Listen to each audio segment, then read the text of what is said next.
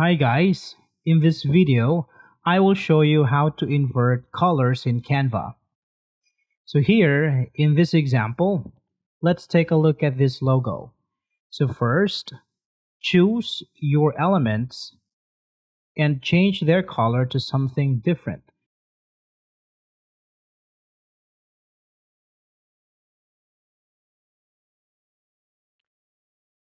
After this, click on the background color, click on the square color, and change it to black.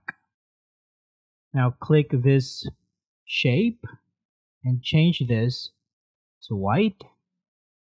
This change to black. And the text, you can change them to black. That's all for this video guys. Thank you for watching and I will see you in the next one.